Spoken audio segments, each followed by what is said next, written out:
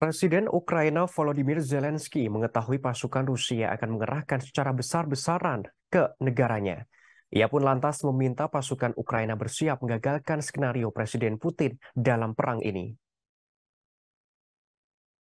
Hal itu diungkapkan oleh Kepala Negara Ukraina dalam pidato hariannya. Presiden Zelensky mengatakan Rusia berencana untuk memanggil lebih banyak pasukan untuk serangan besar baru. Zelensky yakin Rusia akan melakukan serangan besar meski Moskwa menghadapi beberapa kritik internal terbesarnya. Diketahui kritik itu membanjiri Rusia karena peristiwa di Makivka. Dalam insiden itu sebanyak 89 tentara Rusia tewas karena serangan tunggal Ukraina di sebuah camp di Makivka. Dalam prediksinya, Zelensky mengatakan selama berminggu-minggu Putin berencana untuk memerintahkan pengerahan wajib militer massal lainnya. Bahkan Rusia menutup perbatasannya untuk mencegah laki-laki melarikan diri dari wajib militer. Kendati begitu, Presiden Ukraina Zelensky dengan tegas memberikan ancaman terhadap Rusia. Diungkapkan pasukannya akan menggagalkan serangan baru Rusia. Ia juga menandaskan Moskwa harus mengalami kekalahan. Zelensky menerangkan dirinya baru saja mengadakan pertemuan dengan sejumlah pemimpin negara barat di awal tahun ini di antaranya Perdana Menteri Belanda, Perdana Menteri Inggris, Perdana Menteri Norwegia, dan Perdana Menteri Kanada. Ia mengungkapkan awal tahun ini akan bertindak sesuai kebutuhan Ukraina, terlebih persiapan menghadapi serangan baru Rusia. Namun diakui Zelensky dirinya tidak khawatir. Hal ini karena Ukraina mendapatkan backingan barat berupa bantuan senjata. Disebutkan Barat akan memperkuat pertahanan Ukraina. Kepala negara Ukraina menegaskan pasukannya siap menggagalkan skenario Rusia. Ia menekankan Rusia harus kalah. Sementara itu, terkait insiden di Makivka, Kementerian Pertahanan Rusia memberikan penjelasan.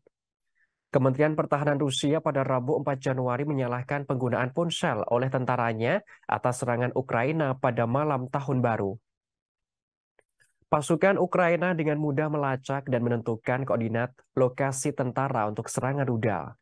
Akibatnya sebanyak 89 prajurit tewas. Insiden ini disebut-sebut paling mematikan yang diakui Moskwa untuk pasukannya sejak awal perang.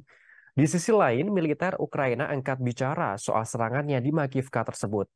Pihak militer Ukraina mengatakan telah melancarkan serangan yang mengakibatkan hilangnya peralatan Rusia dan kemungkinan personel di Makivka.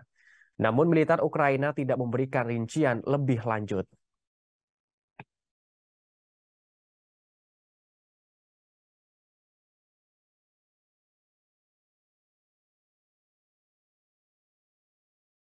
Бажаю здоров'я, шановні українці.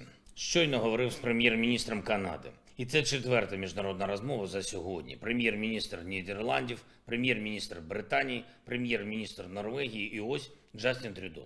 Ми почали цей рік одразу з того, що найбільше необхідне Україні саме зараз, напередодні тих нових мобілізаційних процесів, які готуються державою терористам. Саме зараз той момент, коли разом з партнерами ми маємо посилити нашу оборону. Ми не сумніваємось, що теперішні господарі Росії кинуть все, що у них залишилось, та усіх, кого зможуть зібрати, щоб спробувати перевернути ситуацію у війні та принаймні відкласти їхню поразку. Ми маємо зірвати цей російський сценарій. Готуємось до цього. Терористи повинні програти. Будь-яка спроба їхнього нового наступу повинна провалитися. Це буде фінальна поразка держави-терориста. Я дякую всім партнерам, які це розуміють. Росія мобілізує тих, кого хочуть кинути вмирати. Ми мобілізуємо цивілізований світ заради життя. Дякую Канаді за незмінну оборону, санкційну та фінансову підтримку. Обговорили сьогодні з прем'єр-міністром Трюдо, як ще можемо посилити тиск на Росію. Відчувається, що канадська допомога нашому захисту цього року збереже свою силу.